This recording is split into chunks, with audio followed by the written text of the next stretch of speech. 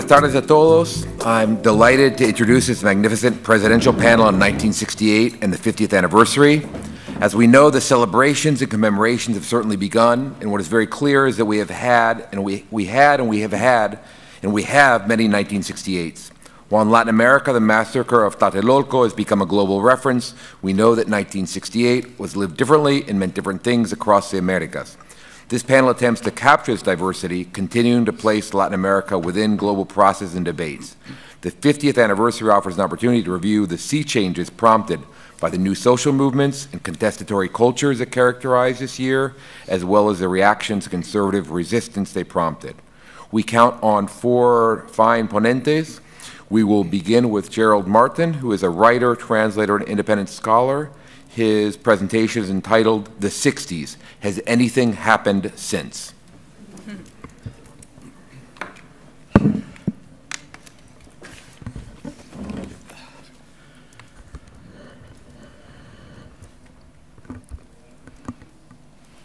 Hello, nice to see you all. Uh, very good to be here.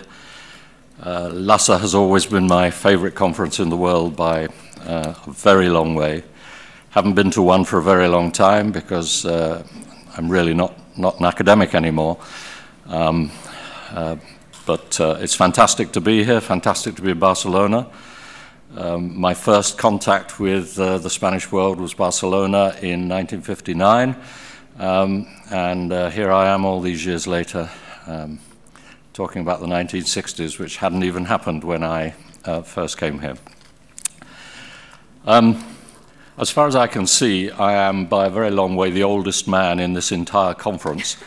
and uh, since the conference has five or six thousand people, as far as I can uh, work out, um, that does make me quite unusual. So I offer myself more, since I don't have great wisdom to offer you, um, I'm going to offer you myself as a relic um, and as a specimen. Uh, and I'm going to talk a bit about um, uh, how the 60s looks to me now um, and everything that's happened since, both in Latin America um, and indeed in the uh, world. I've always thought that uh, LASA was a 60s institution. Um, I think it still is. Um, NACLA too was a 60s institution um, and just about is as well, uh, stints. Um, both LASA and uh, NACLA have managed to ignore everything else that was going on and to retain a 60s kind of identity. Um, the 60s was what I myself um, uh, was wanting in the 1950s um, when I was a teenager. And uh, I've really stayed in the 60s ever since. Um, if there'd been anything better afterwards, uh, obviously I would have embraced it um, and uh, entered into it, but um, I honestly can't see uh, what there is. Okay. Um, my title, um, and funnily enough, over the last weeks, I, how long ago did we send the titles in, Chuck? I can't remember it was closer to 1968 than to today, it feels like. It was 25 years ago. It was a long time ago. Um, I've been obviously Googling 1968 and the 60s in the last few weeks, and to my complete astonishment, I found that my title isn't in the least original, and um, that uh, variants on my title exist all over the place. Um, so uh, one is never as original as one would, um, would like to be. I, um, my title comes from a perception, um, which probably lots of people have had, but I've had it very strongly. Had it for a long time, but, but, but had it um, strongly in the last few years um, as I've uh, reached old age. Which is that if I think back to the 1960s, and I think, for example, of seeing films of 50 years before, or photographs, or read things of 50 years before, the differences just hit you straight between the eyes immediately. Everybody looked totally different. Uh, they had different body language. They were wearing different clothes. The transportation was different.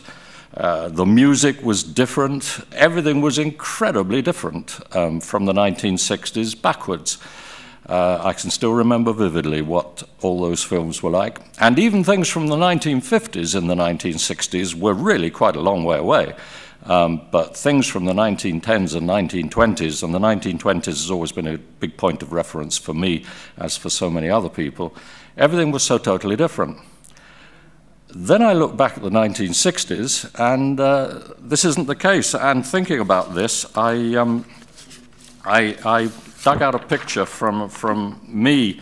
You can't see it, but uh, uh, this is me and some friends, and in fact, my printer wasn't working either, so it, it hasn't come out very well. But this is me and my three friends at, uh, at, at university in the 1960s. Well, we've got a look on our faces that was the 1960s, which is that we thought the future belonged to us and that we were the future and we knew what it was going to be like and it was going to be fantastic. But apart from that, we could be dressed just the same today. Everybody's wearing just the same things today as they were wearing in the 1960s. Uh, the men were all wearing jeans, uh, sweaters, t shirts. The women were wearing what they wanted for the first time in history and have carried on doing it uh, ever since. So the 1960s, it seems to me, was the beginning of, of, of now. Um, my friend in front in the picture, which you can't see, um, uh, was in a rock group. This was at university called Montezuma and the Aztecs. Uh, Zuma spent Z O O M E R. Um, I uh, met my wife at one of his rehearsals. Um, he was playing one evening when John F. Kennedy was killed. Um, in this picture, uh, I'd just been to Paris for two weeks because we didn't have credits in Britain, so you could just clear off and go and do things during term time. And I'd just been to Paris for two weeks. I was just about to go grow my hair and go to Spain uh, for two months over the summer in a red uh, pickup truck with, with, with these guys. And in that sense, everything was, uh, everything was, was, was the same. Um, I went to Bolivia in 1965. I, I, went in a Boeing 707 in 1965. It went at five or 600 miles an hour, um, just like they do now. Um, when I went to Spain in my pickup truck, we drove at 70 miles an hour, just like we do now. Um, so we wore the same clothes, we did the same things. Rock music had started, the Beatles began in 1962. They dominated our entire uh, university life. Um, Beatles are still the greatest rock group, uh, not rock group, pop group. Uh, the Rolling Stones were there. They're the greatest rock and roll band in, uh, in, in history. They're still around, still touring, even going around Latin America. They've even been to Havana now. Um, the Boom Writers were there in Latin America. Um, Mario Vargas Llosa is still the most important and influential writer in Spain or Latin America uh, 60 years later, and if Gabo was still alive, well, they'd still be fighting it out and punching one another and so on uh, for supremacy. So, in one way, um, things are very much the same.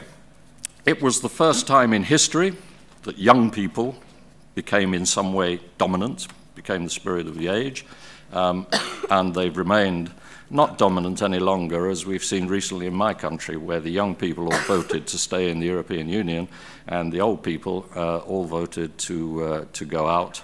And so we've got Brexit, which is the British uh, equivalent of um, Trump.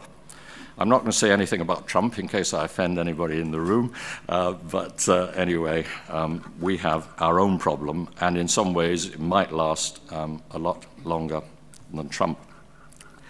I dug out something that I remembered from Garcia Marquez in the 1980s, uh, which was um, the moment when we realized that uh, we weren't the future and it wasn't all going to turn out uh, as we thought. And uh, Garcia Marquez's article is called Sí, la nostalgia sigue siendo igual que antes. And it's about the death of John Lennon.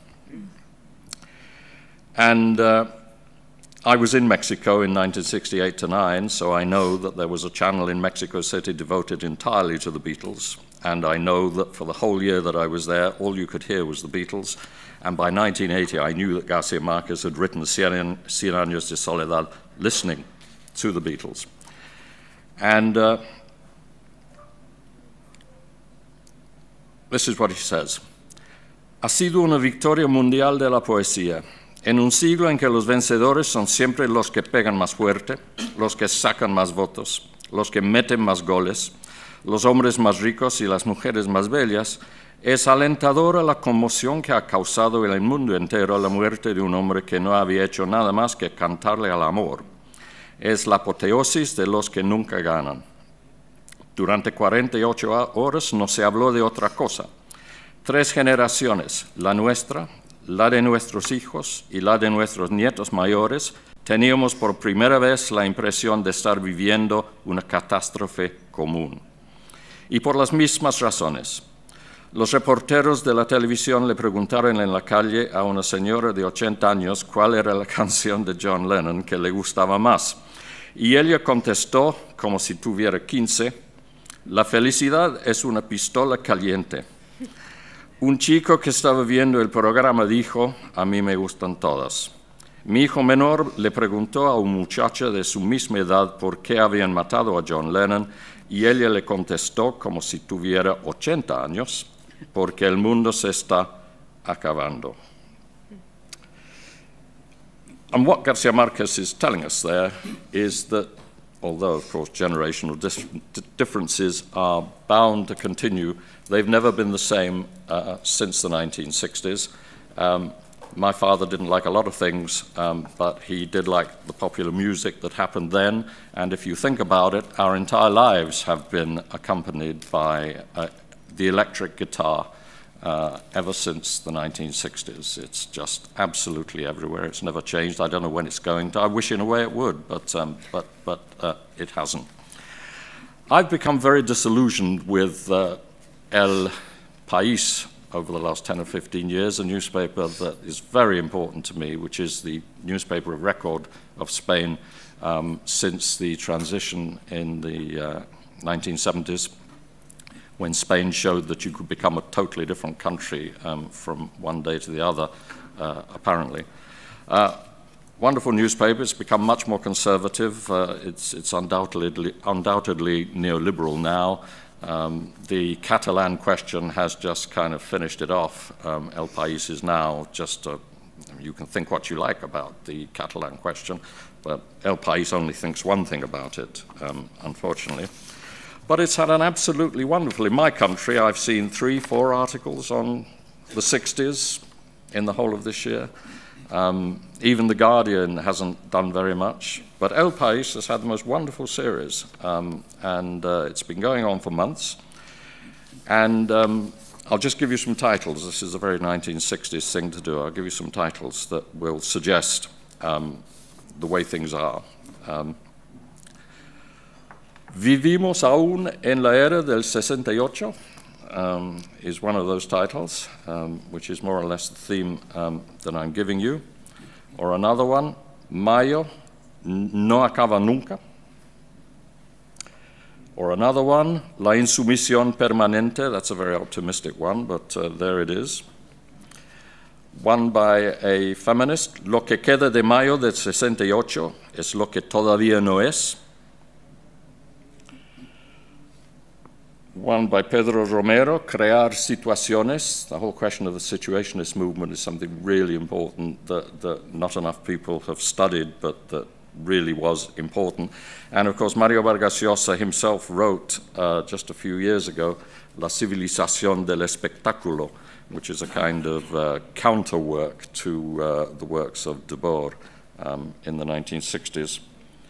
Uh, someone else wrote Que medio siglo uh, no es nada, uh, presumably thinking of, uh, of Gardel.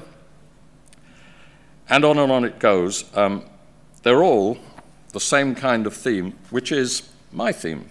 Um, are the 60s over? What was the promise? Um, has it all been realized? Um, I, of course, um, well, I say of course, I'm saying of course, I, have spent a lot of time um, in the last 25 years studying Garcia Marquez, um, Cien Años de uh, Soledad. Um, I thought as early as the 1970s that, um, I can't believe I've been talking for 18 minutes, um, that uh, the book was the materialization in the Spanish-speaking world of uh, Marshall McLuhan's work, um, The Global Village, uh, and all the other things that he did. But it was also uh, not just showing us that everywhere was now part of a globalized world and that the local and the global uh, were going to coexist and that we would have to start learning how to do it, which we still haven't learned to do, but we're, we're all trying.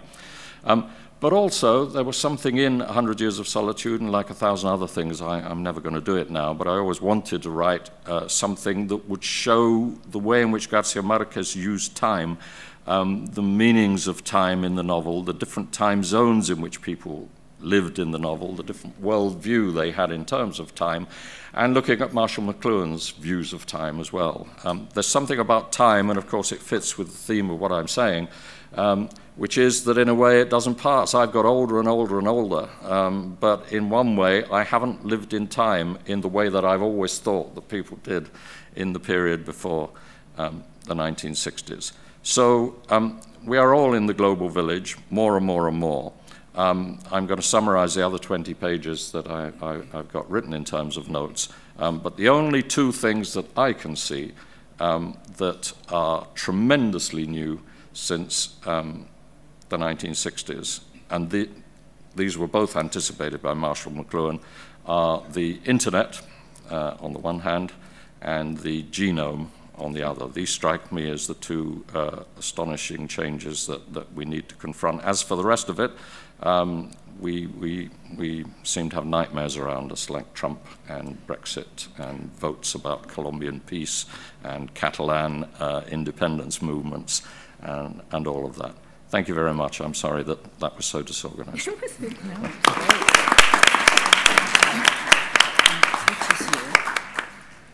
Thank you. We will now hear, hear. Oh, yes, sorry. Thank you very much, Gerard. We will now hear from Carlos Aguirre from the University of Oregon, who will speak on Cuba's 1968, the Garden of Forking Paths. Thank you, Chuck, for uh, organizing the panel and inviting me. Thank you all for coming. I will be reading uh, because I need to stay on uh, the 50 minute uh, limit. Hopefully, I will be able to accomplish that. Uh, on April 9th, 1968, uh, Casa de las Americas in Havana published the Cuban edition of Cien Años de Soledad, the novel that would forever change Latin American and world literature, and whose first edition had been published the previous year in Buenos Aires, as um, most of you certainly know. On October 10th, 1968, Fidel Castro gave a speech to commemorate the centennial anniversary of the beginning of the anti-colonial rebellion by Carlos Manuel de Céspedes that would lead to the so-called 10 Years' War.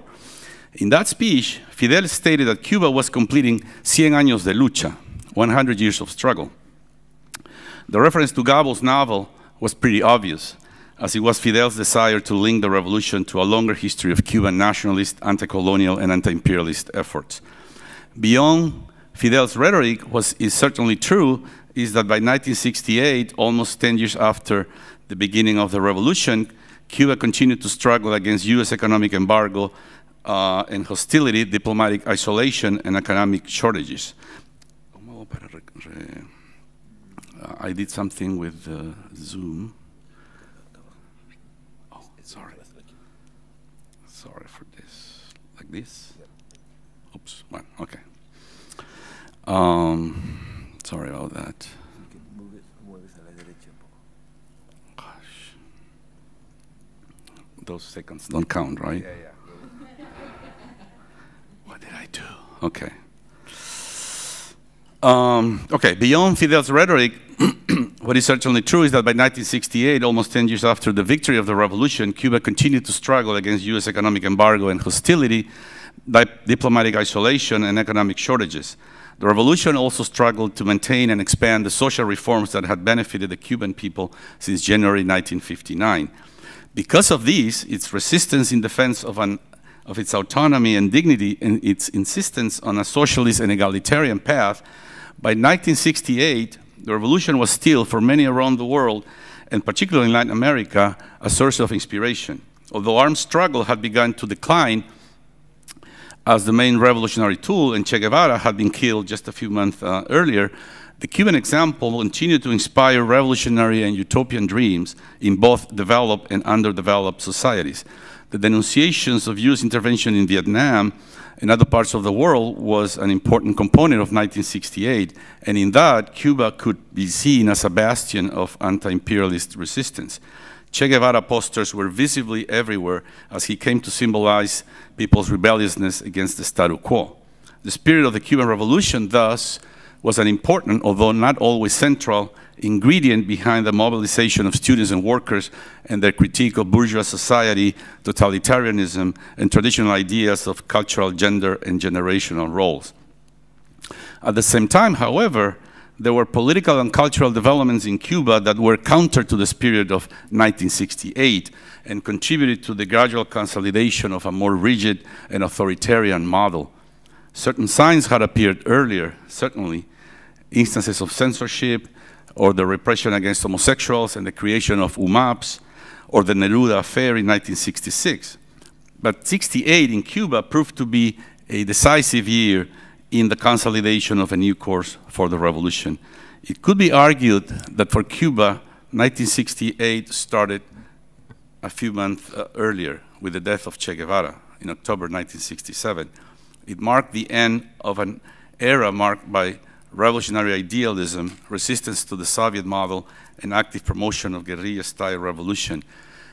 And it marked thus the beginning of a gradual entrenchment of a more Soviet-like model which would reach its peak in the 1970s, particularly during the so-called Quinquenio Gris, the period of cultural repression that, as writer Leonardo Padura has pointed out, was actually longer than a quinquenio and darker than gray. He and others have referred to it as el decenio negro. In January 1968, Cuba held an international Congreso Cultural in Havana, a major event that gathered hundreds of Cuban and foreign intellectuals to discuss a number of issues, but quite centrally, the role of intellectuals in the revolutionary process. The Congress reaffirmed the subordination of culture, arts, and creation to the needs of the revolution. In a lengthy speech at the end of the Cultural Congress, Fidel launched a frontal attack against the US, defended the legacy of Che Guevara, and praised intellectuals for their role in the struggle against imperialism. But he also questioned what he referred to as intellectual individualism. El análisis, las concepciones cada vez más tendrán que ser la obra de equipos de hombres, más que de hombres individuales, said uh, Fidel. Critical thinking was encouraged, but only to the extent that it stayed within the parameters of the revolution. The final declaration signed by the participants in the Congress stated that the fundamental duty of intellectuals was to resist imperialist aggression and to support struggles towards national liberation and decolonization efforts in Asia, Africa, and Latin America. The subcommission that dealt with the issue of the responsibility of intellectuals went a little bit further with this rhetoric. Hacemos la revolución, luego existimos. But not every intellectual or topic was welcome in those debates in Havana in January 1968. Just to give an example, a particular group of black intellectuals, including Walterio Carbonell and Nancy Morejon, who were demanding a more clear and direct commitment of the revolution against racism and discrimination, um, were excluded. They were accused of opening a racial breach in the revolution, and some would, would eventually suffer various forms of ostracism, including temporary imprisonment. Simultaneously, the revolution intensified its hostility against multiple cultural manifestations, both local and imported, that were perceived as counter-revolutionary. Foreign music, most notably rock and the Beatles, uh, fashion styles, long hair, miniskirts, religious beliefs, and most ominously, homosexuality, that in official propaganda was equated with foreign cultural alienation and counter-revolutionary activities. As is clear, some of these manifestations that were central to the mobilizations of 1968 elsewhere were seen in the island as detrimental to the revolution and were effectively prosecuted. In 1971, during the first Congreso de, la Educación y la Cultura, homosexuality was explicitly defined as a social pathology and thus a counter-revolutionary type of behavior. Respecto a las desviaciones homosexuales, se definió su carácter de patología social, quedó claro el principio militante de rechazar y no admitir en forma alguna estas manifestaciones ni su propagación. Los medios culturales no pueden servir de marco a la proliferación de falsos intelectuales que pretenden convertir el esnovismo, la extravagancia, el homosexualismo y demás aberraciones sociales en expresiones del arte revolucionario. Later that year, in August, as is well known, Soviet tanks invaded Czechoslovakia to put an end to the so-called Prague Spring, which very much in the spirit of 1968 was challenging the authoritarian communist regime. The Cuban press did not offer much coverage of those events as they were unfolding, and Fidel said nothing publicly about it until uh, the invasion took place. And as I'm sure you know, Fidel took a stand and publicly expressed his support to the intervention, which disappointed many on the left who still saw the Cuban process as more independent and democratic than the Soviet model. For Fidel, the Prague Spring was a movement that would take Czechoslovakia into the arms of imperialism, and thus intervention was justified. And later that year, in October, the Cuban cultural establishment would be shaken by the first phase of the Padilla affair, the scandal surrounding, surrounding the prize that poet Heberto Padilla received for his book Fuera del Juego. The case is well known, and I will skip most of the details. Padilla was a poet who had worked for the revolution in a variety of positions, including that of head of the office in charge of uh, the cultural imports and exports. He was not yet an open critic of the revolution, but he had been involved in various polemics, including his defense of Guillermo Cabrera Infante, the already exiled writer, and his critique of Lisandro Otero, a man of the uh, intelligentsia uh, uh, in Cuba. Padilla's book was selected for the prize by a jury formed by, among others, José Lezama Lima, and there are multiple reports and evidence of pressures from the top, including Raúl Castro himself and others, uh, try to press the jury not to award the prize to Padilla. Eventually, he received the prize, and in the resolution, the jury stated that Fuera del Juego, the, the poem, uh, the, the, book of poems, se sitúa del lado de la revolución, se compromete con la revolución y adopta la actitud que es esencial al poeta y al revolucionario, la del inconforme, la del que aspira a más porque su deseo lo lanza más allá de la, rea- de la realidad vigente. That characterization of Padilla's writings and of himself as a poet did not certainly convince the official intelligentsia in Cuba. The book was eventually printed because that was one of the conditions of the prize, but um, it appeared with a warning written by the uh, uh, Unión Nacional de Escritores y Artistas de Cuba's executive committee, the organizers of the, of the prize, according to which Padilla's book uh, was ideological, ideologically contrary to the revolution. It uh, represented a defense of individualism against the needs of a society that is building its future, reflected an attitude of skepticism or critical rejection typical of a liberal intellectual that, in the Cuban context, they said, uh, it objectively, objectively becomes reactionary. Authors like Padilla, according to them, did not serve the revolution but its enemies. They were sort of Trojan horses of imperialism. What needs to be mentioned here is that several poems in that book had already been published in Cuba, including in Casa de las Americas, which means to me that the scandal surrounding the, the, the prize and the eventual publication of the book is a clear indication of the tightening of control of dissent in Cuba around 1968 as Jorge Fornet has underlined, by 1968, the official line of Cuban cultural politics was being said by Verde Olivo, the magazine of the Cuban armed forces.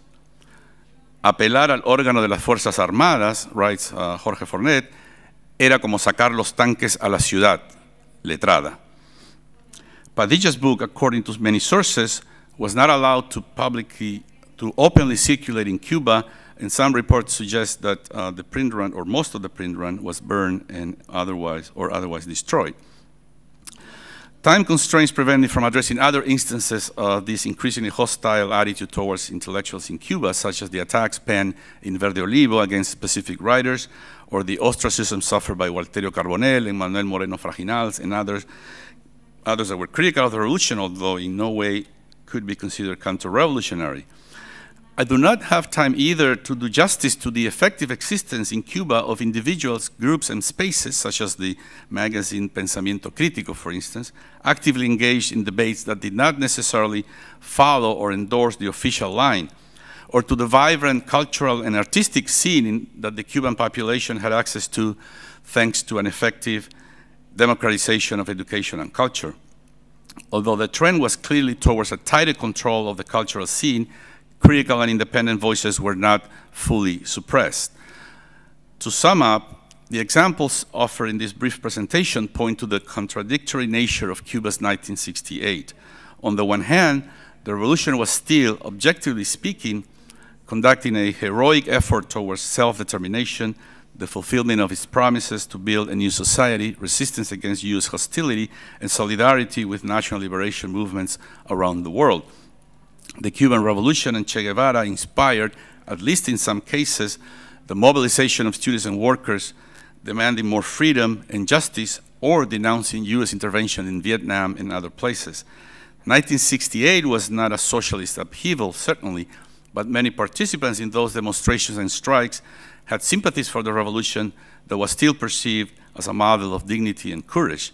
On the other hand, many events of 1968 inside Cuba pointed in the opposite direction, that is, the adoption of a more rigid and authoritarian model of socialism. To a certain extent, the Decenio Negro uh, began in 1968. To say this does not imply ignoring the context in which this was taking place, what Rafael Hernandez has called el síndrome de la fortaleza sitiada. But even the most sympathetic defenders of the revolution would acknowledge that the way in which it responded to specific manifestations of cultural and political dissent was way out, of way out of proportion and revealed an authoritarian tendency that was at odds with the spirit of 1968. The revolution, it could be said, was actually trying to prevent a Cuban version of 1968. Thank you.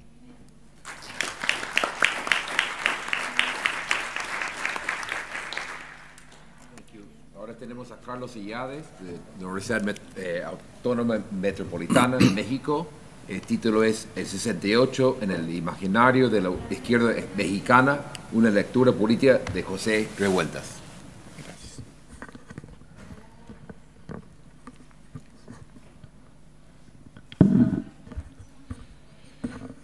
Bien, buenas tardes. Eh, gracias a Choc por la invitación. Eh, la idea que quiero desarrollar en estos minutos es eh, eh, tratar de explicar cómo en la perspectiva de José Revueltas el movimiento del 68 cierra el ciclo de la Revolución Mexicana y plantea la posibilidad de, de, que en México transite no solo hacia la democracia, sino eventualmente hacia el socialismo. José Revueltas es una figura, digamos, eh, fundamental de la izquierda mexicana. Podríamos decir que es un ícono de la izquierda mexicana en la medida en que representa, de un lado, la figura del intelectual disidente, del, intelectual que eh, no negocia con el poder, el intelectual comprometido, y, eh, desde una perspectiva política radical. Pero de otro lado también es una figura muy importante porque a través de, su trayectoria vital, que fue eh, finalmente breve, murió a los 61 años de edad, Revueltas eh, transita pues, casi desde su adolescencia, eh, a los 15 años se, se, vuelve comunista, se afilia, se acerca a las juventudes comunistas hasta el final de su vida todas las metamorfosis, eh, todas las metamorfosis del ser comunista. Esto es, eh, Revueltas eh, pasa a lo largo de su breve vida desde la, pues la, perspectiva estalinista, con la cual rompe, digamos, en la, en la década de los 50, se acerca en la década de los 60 al trotskismo y eh, ha avanzado el movimiento del 68 y en el resto de su vida, incluso adoptará una, eh, una perspectiva, eh, llamémosle autogestionaria del, del, comunismo. Entonces, a lo largo de una trayectoria vital breve, desarrolla esta, todas estas mutaciones posibles del ser comunista. Hay otra cuestión que también es fundamental y que lo convierte en una eh, figura icónica.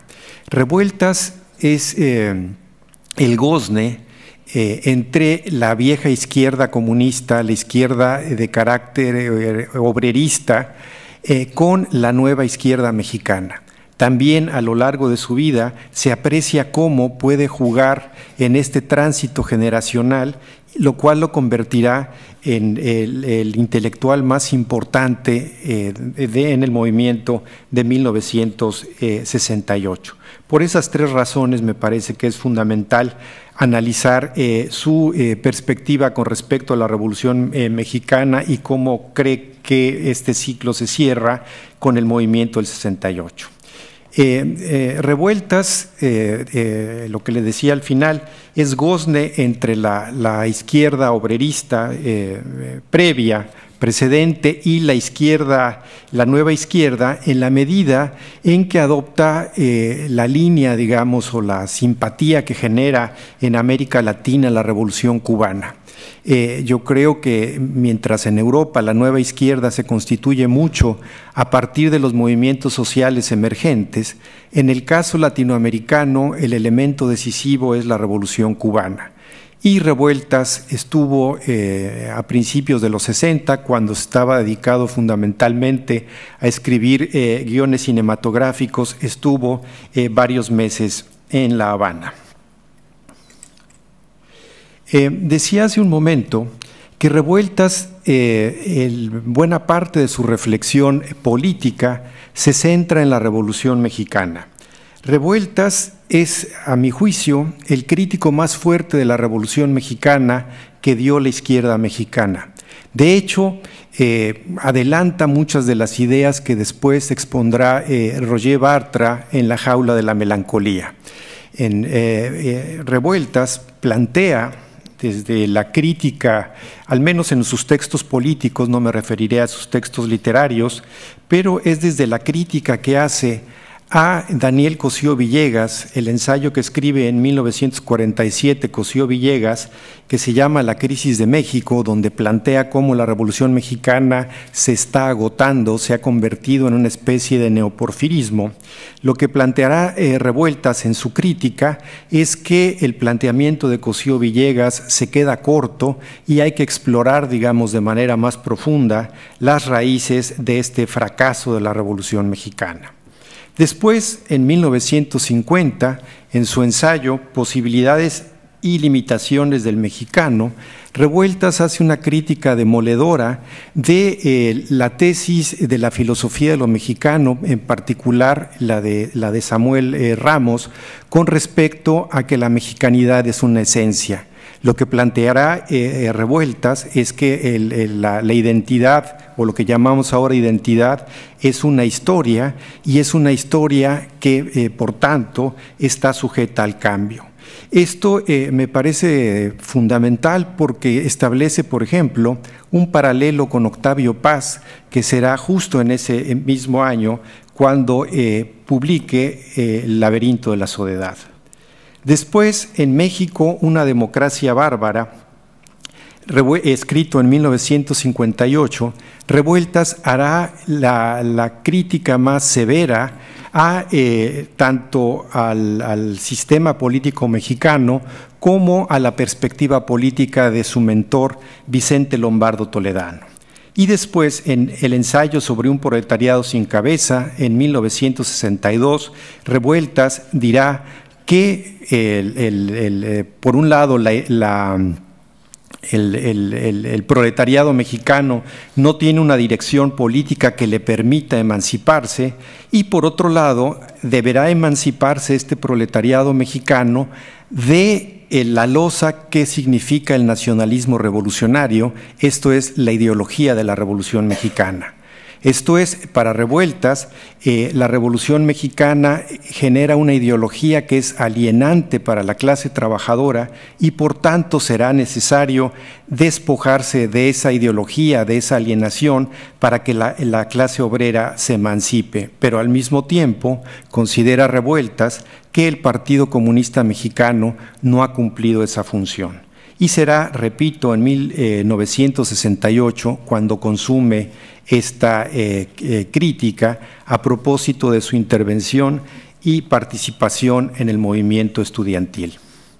Eh, revueltas se, prácticamente en el movimiento del 68 se traslada a vivir a Ciudad Universitaria, eh, está ahí durante varios meses, lo llevan los estudiantes en algunos momentos para protegerlo, sobre todo después del 2 de octubre, lo llevan a sus casas, digamos, para resguardarlo, pero va y viene todo el tiempo y muchos días incluso estuvo allí.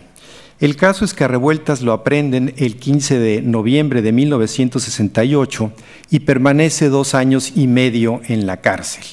Y eh, eh, cuando eh, lo liberan, nunca recupera, digamos, la condición de, digamos, de un hombre enteramente libre. Revueltas quedará sujeto a proceso hasta el momento de su muerte. Bueno, el día que lo aprenden, había dado revueltas una conferencia en Ciudad Universitaria sobre la autogestión académica y la universidad crítica. Estos dos eh, planteamientos, estos dos conceptos serán los elementos eh, fundamentales cómo abordará a lo largo de los siguientes años el problema universitario. su reflexión va más o menos en el sentido siguiente. Eh, para revueltas, la clase obrera está imposibilitada en ese momento de realizar la revolución por las razones que he expuesto. Y Revueltas lo que considera es que transitoriamente el movimiento estudiantil será el depositario de la conciencia crítica eh, en la medida en que está generando formas de reflexión no alienadas y después esto dará oportunidad al desarrollo de una revolución de carácter socialista. Para él, la universidad crítica es el elemento fundamental de la creación de una conciencia colectiva. De hecho, para él la universidad se convierte en el 68 en el cerebro colectivo. Esto es la perspectiva gramsciana con respecto del partido político. Y de otro lado, la, la práctica ¿Qué hará posible este pensamiento crítico, este nueva, esta nueva forma de, reflexión y de asociación entre los eh, universitarios, es la eh, autogestión académica. Esto es una relación igualitaria entre los que eh, conforman la universidad y que les permitirá desarrollar un pensamiento crítico que para revueltas es fundamental. Es así que para el, eh, escritor, para Revueltas, eh, eh, la, la, convergencia de estas dos perspectivas, la que tiene que ver con una universidad crítica no alienada y por otro lado una práctica autogestiva, darán la posibilidad de un desarrollo de la conciencia al nivel de permitir una nueva revolución en el país. De hecho, ahí enfrenta radicalmente la perspectiva del centralismo democrático, del, comunismo oficial, en el sentido de que las relaciones, eh, digamos, políticas son eh, de carácter eh, vertical. Para revueltas, como señalé hace un momento, estas relaciones políticas tienen que ser fundamentalmente horizontales. De tal manera que Revueltas, y ahí también establezco el paralelo con Octavio Paz, en 1968 y de ahí en adelante eh, eh, planteará que la revolución eh, próxima, la revolución que se dará en México a partir de las jornadas universitarias, será fundamentalmente una revolución democrática. Esto es, es el que, de los primeros, o tal vez el primero, que introduce dentro de la izquierda comunista mexicana la idea de que la revolución eh, futura tiene que ser necesariamente una revolución democrática. Esto es, no es monopolio del pensamiento liberal mexicano, eh, la idea de que la democracia va asociada con eh, la revolución. Y esto, por supuesto, tiene mucho que ver con la experiencia que ha visto o que está sucediendo más o menos simultáneamente en el bloque socialista, en particular en eh, la antigua eh, Checoslovaquia. Eh, Bien, para él esta nueva revolución debe consistir o debe tener dos fases. De hecho, la primera fase es la que él está viendo en el movimiento estudiantil. La primera fase es una revolución de carácter estudiantil, pero, insisto, para él esta revolución estudiantil tiene un carácter transitorio, porque nunca se despoja de la idea que el sujeto revolucionario es la clase obrera.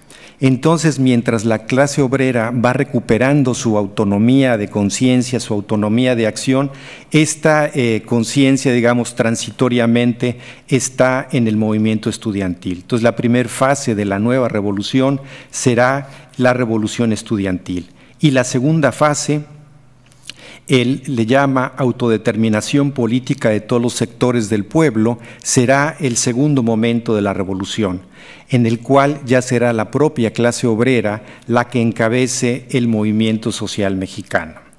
Y de hecho, allí lo que plantea, y esa es una de las herencias eh, que ha asimilado del trotskismo, que tendrá que haber un, un, momento de transición, un programa de transición, de hecho así lo llama, como el famoso texto de Trotsky de 1938, el que da lugar a la, a la Cuarta Internacional, y le llama el, eh, la plataforma de transición de la izquierda.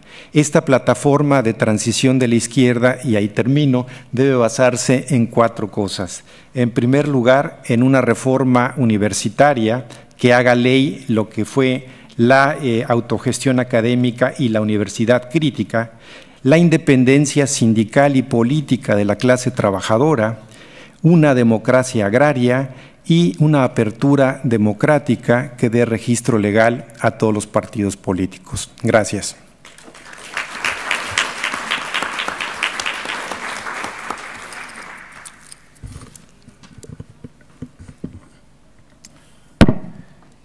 And now we have Diana Sorensen from Harvard University, whose paper is titled A Global 1968?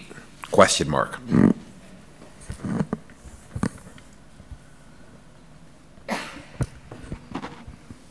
Thanks so much, Chuck. And I just want to make sure I keep to my allotted time. Do I make it until 1?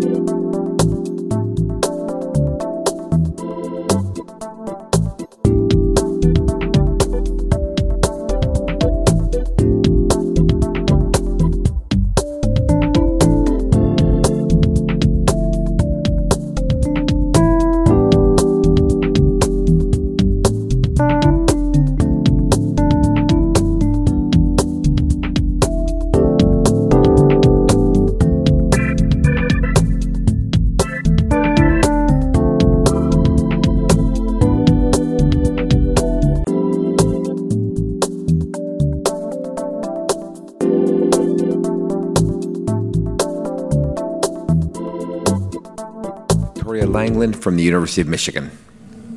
Thank you. So I have to say, I have the best of all jobs and the worst of all jobs. The best in that I got to read all of these presentations ahead of time and sort of think about them and chew on them for a couple of days. And the worst is that I probably have five minutes to try to synthesize and say something to you because I am in, in between you and the panelists, and that's a you know not a great position to be in. Um, so. I'll start off by saying that our, the panel description, if you read the little description about what we were trying to accomplish, it notes that we're still debating the significance and the legacy of this transformative year in Latin America, that this is still sort of an open question. And true to form, the presentations that we've just heard did not actually offer us a definitive answer to this question, or even really four attempts at definitive answers.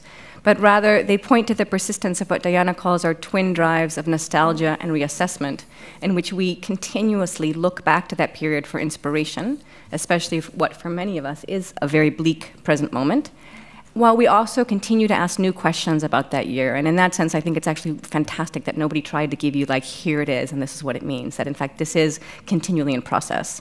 Um, so I'm similarly unable and unwilling to offer one response to this question of what is the legacy of 1968 in Latin America. And I think that this constant questioning is itself useful. It's generative of new ideas about the present, about who we are, how we got here, and most importantly, about where we want to go. So, that said, I'm just going to offer two or three quick reflections that emerged for me when reading the papers together. The first is that I'll say I find it endlessly ironic and also puzzling the ways in which Latin American, the Latin American 1968 continues to be understood by those outside of Latin America as a kind of other 68, as if it were apart from or even secondary to some real 68 that took place somewhere else. Um, and so, you know, you mentioned all the multiple commemorative activities happening in various newspapers. I've already, you know, also been involved in, in some really wonderful, well-intentioned, and incredibly brilliant conferences about 1968, but that nonetheless take on as their agenda including Latin America, you know, the other 1968, or what happened in Latin America. Um, and these papers speak not just to the kind of here to-ness of the Latin American 1968, but really to the centrality of Latin America to the global 1968 both for the events that took place um, and for the ideas that were circulating and generated in real time, as well as for what we might think of as the later creation of legacies of 1968, right? The later ideas that we have globally constructed about what 1968 comes to mean. Um, and I'm thinking here. Um, Gerald's paper about the world being irremediably moved by the boom of Cien Años de Soledad, which you get a sense of that in his comments, um, to Cuba as a site of inspiration, a place of peregrination, and perhaps a site of a collective will not to see um, in 1968. And then, and then Mexico as this critical participant in global political debates, both before, during, and after 1968, and, and the centrality of Tlatelolco. Um, so to me, this feels almost like older visions that we had of the Cold War that didn't originally think about Latin America, and today are unthinkable, that you wouldn't imagine the Cold War without that. And I feel like we should be there in terms of 1968. It's unthinkable that this is not the way that the world th- reflects on this moment. My second point would be that I still think we need to guard against romanticizing the year of 1968, although not in the same terms that we used to do, but in the ways in which we can still totter on the precipice of understanding 68 as the roots of all things sort of contestatory. And I'm not trying to lean toward Deleuze in any way and sort of say that everything and nothing happened, but to warn us against putting into 1968 everything that today we find valuable, everything that today we want to see its origins as stemming from that moment. Um, so Carlos Aguirre showed this for Cuba, right? That 68 was also this moment of persecution of intellectuals, of gays, of those promoting an anti-racist agenda, and others. Um, and I would say this is not exclusive to Cuba, right? Certainly, new work on the armed movements of the Southern Cone and of the intellectual left demonstrate the significance of homophobia and what Christopher Dunn calls homo-derisive attitudes that were a part and parcel of 1968. And I wonder if we shouldn't see these as aberrations to 1968, as exceptions to 1968, but part of the way that 1968 transpired and part of the legacy of those who did make those struggles to, uh, manifest themselves, right? One of the hurdles that they needed to overcome in some ways might be the constructions um, that we might today think of as um, non progressive or even reactive and reactionary that occurred in 1968. So if we think about this more critically, we might see 1968 uh, differently. And I was thinking too here, um, Carlos Illades telling us about Jose Revueltas being inspired living among students, and one of the things that was really inspirational to him was the horizontality of the Mexican student movement. Um, but Elaine Carey might tell us that it was not experienced that, by, that way by women students. And so when we kind of bring that into our, our vision of 68, what does that do? The kind of contradictory nature of all of the 1968s. Um, and then I guess the, the last comment that I'd make is that as we, as we assess 1968, and this is related, we might perhaps need to assess 1968 as a historical phenomenon and 1968 as a, as a, as a post 68 construction, right? The many interpretations and understandings of 68 that may have little or less to do with what actually took place than we think. Um, Gerald asks us what was the promise of 1968, and we might ask who made that promise, right? Or who has been continuing to make that promise. And so w- I think keeping these two things in mind um, is helpful to us in understanding both the period and its legacies. And so with that, I hope that offers a couple of frameworks, and we should turn it over to questions. Yes. Yeah. Was that short enough? That was perfect. That was great. Thank you. Bueno, muchas gracias por respetar el tiempo. Hicimos esto para que hayan preguntas. Eh, lo único que pedimos que sean preguntas más o menos breves, no ponencias. Todos hemos tenido experiencia. A las dos nos van a abrir la puerta. Y, así que, por favor, pregunta. Creo que no hay micrófono. Que se nada más se levanten y un poco fuerte. Adelante.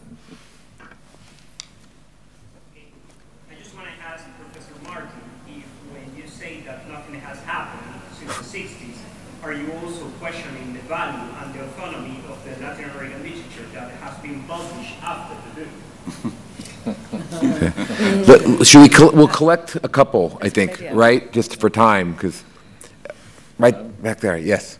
Is that okay? We'll collect a few, so That's a good idea. remember. I wonder what we need to reflect on, that our reflections on 1968 in the global south are effectively in the geographical north. So we focused on uh, primarily Mexico and Cuba, whereas countries such as Peru that had hugely significant events, transformative in 1968, don't tend to feature so much in these narratives about remembering 1968. So Good point. Yes. Anyone else? Yeah, please, al fondo. I come up so we can hear you. Yeah. Okay. Good. Um, I've been reflecting on, I'm from a conversation, which is a media organization. We're doing a series of 1968 this year also, so I'm going to come talk to you guys afterwards. But one thing I've been reflecting on and thinking about 68 is the reduction of people who support democracy in Latin America, the severe drop in support of democracy, and how this is the first generation born under democracy, the erosion of democracy is highest among young people. And, and where does 68 figure into that? Um, there have been two revolutions in Latin America, 68 and then the democracy transitions in the late 80s. And how do those two things play into the, you know, resurgence of an authoritarian mindset and militarization in the region today? Thanks. With time for one more, perhaps, if there's not. If not, fantastic. So we'll, maybe we'll go in the order that we presented. You, you have the future.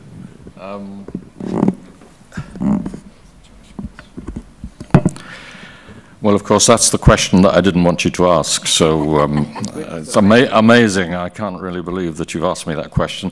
I, um, I would need uh, uh, several days to answer it, but I would say that the template for Latin American literature in the last 50 years was created in the 1960s, and that writers have been writing for or against the boom ever since. I still think, totally sincerely, that Latin American literature is the most interesting and vibrant literature that I know in the world, even today. But we don't live in the world that, in, in the 1960s, it was still possible to con- conceive of being a great writer. You, you, you could still be Hemingway or Faulkner or whatever, or Borges or Carpentier. Um, but uh, it's difficult for me to think of a Latin American writer, apart from Bolaño, of course, in the last 40 years, who is a absolutely recognizably, undeniably great writer in the way that. But as I was trying to point out earlier, um, we don't even have great pop stars anymore. We had great pop stars in the 60s and 70s, but there aren't any David Bowies now, or Pink Floyds, or um, whatever there was. Um, it's a different era, and it's one that, that, that we haven't really understood yet. I do think that the attempts at um, uh, the, the, claims of originality, for example, McOndo and the crack, um, didn't persuade me at the time and persuade me even less now.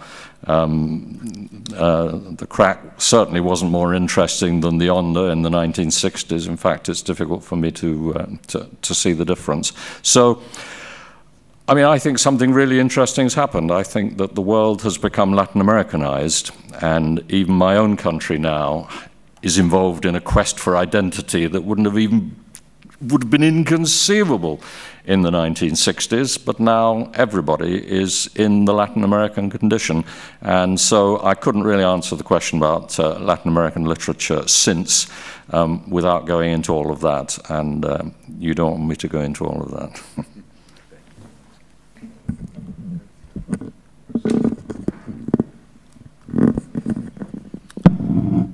Yes, very briefly to address the uh, question about Peru. And yes, I agree. I'm, I'm Peruvian, just in case uh, you don't know. And when I was invited to this panel, I I struggled between talking about Peru, which you know I happened to just uh, a few months ago co-edited a book on the Velasco um, uh, government with my colleague Pablo Drinot, who is here. Allow me the commercial. Um, so I was torn between addressing Peru here in this panel and talking about Cuba. I, I ended up choosing Cuba because I'm working on that project now. But yes, uh, there are many 1968s that are usually forgotten. And Peru is one of those cases. As, as most of you know, there was a nationalist uh, revolution uh, conducted by the military, going really against the current in Latin America those days.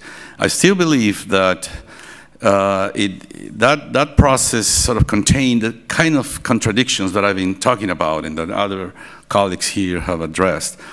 It was, it was partly inspired by Cuba, and yet there were members of the armed forces that were really anti-communist, right? And uh, actually they discussed whether to reopen diplomatic relations with Cuba.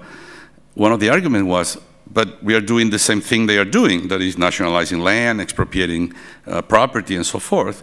And the other side said, um, yeah, but Cuba is instigating guerrillas that are trying to destroy the armed forces in, in Peru and other countries. And it, it, it took you know, fierce debates among them to eventually mm, you know, get closer to Cuba. And I'm also, I also believe that the, the, the Velasco revolution, this military revolution in Peru, was in a way uh, uh, a preventive revolution, one that uh, uh, wanted to change things so that Peru didn't go the Cuban way. Um, and of course, it wasn't as repressive as most of the other military regimes in Latin America, but it was certainly an authoritarian government. So uh, I think we need to sort of expand the, uh, the reach of our discussions about 1968 by incorporating these other dimensions, including liberation theology, for instance, for which 1968 was really critical. And I'm sure there are many other cases that can be mentioned. Thank you.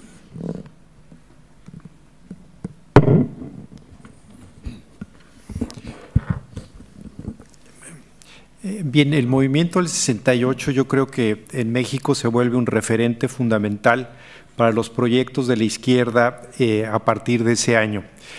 Y en parte se construye un nuevo mito eh, acerca de la eh, digamos, de la vía para la emancipación de las, de las clases subalternas.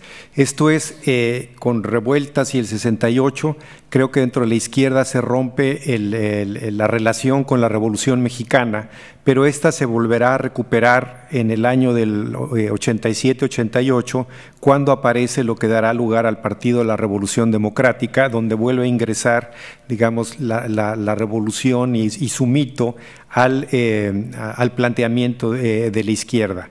Eh, ese alejamiento, digamos, planteado teóricamente, creo que es fundamental en el trabajo de José Revueltas.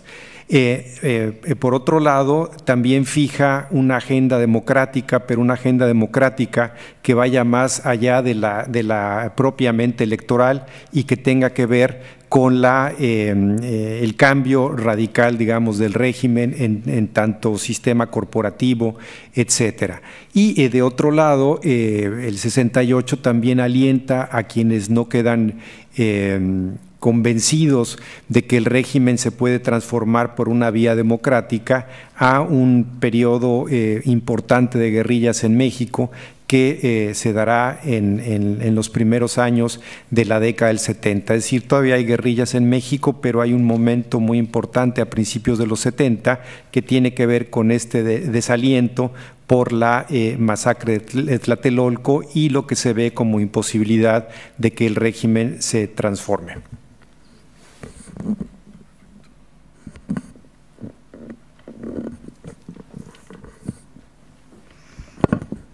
Bueno, muy brevemente y antes de que nos echen, eh, creo que son eh, tres eh, excelentes preguntas. Simplemente trataría de unir la primera con la última. Creo que porque la del medio es muy válida, hubiéramos estado aquí más que todo el tiempo del ASA si hubiéramos podido cubrir todo lo que era el 68 en América Latina. Simplemente pensar el boom y el, el momento de descontento y pesimismo en el que vivimos eh, como parte del fin de una especie de lo que llamamos en inglés the grand narratives of modernity. Y en el boom todavía se podía pensar en lo que eran los circuitos transnacionales a los que tenía acceso la literatura latinoamericana y llegó con toda su sorpresa y su novedad. Y todo eso en este momento es difícil de fabricar en ningún mm, lugar. Eh, hemos tratado de crear la figura de Bolaño para que haya otro gran nombre y eso se nota claramente en las publicaciones traducidas y especialmente en inglés. Y con respecto a la pregunta que hacías sobre eh, lo que parecería ser el fin de la democracia, eh, me parece un tema de reflexión urgente y problemático. Y creo que ha habido, algo nos pasó en estos últimos 50 años eh, que nos ha dado un resultado que todavía estamos tratando de entender. Eh, espero que este no sea el último comentario pesimista que haga.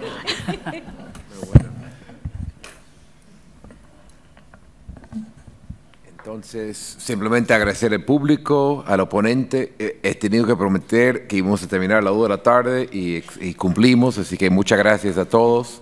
Seguimos conversando. Sí, sí, sí.